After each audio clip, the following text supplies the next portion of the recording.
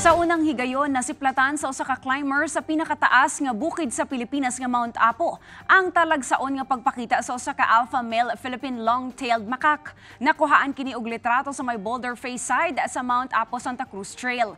Ang maong hayop gikonsidera nga endemic sa Pilipinas ug lakip na sa mga endangered species o hapit ng mahurot ang populasyon. Kahinumduman nga pipila ka hayop na ang ah, nakita sa Mount Apo. Busa subli ang pahinumdom sa mga otoridad nga dili hilabtan ang maong mga hayop nga nagdala og balanse sa atuang ecosystem.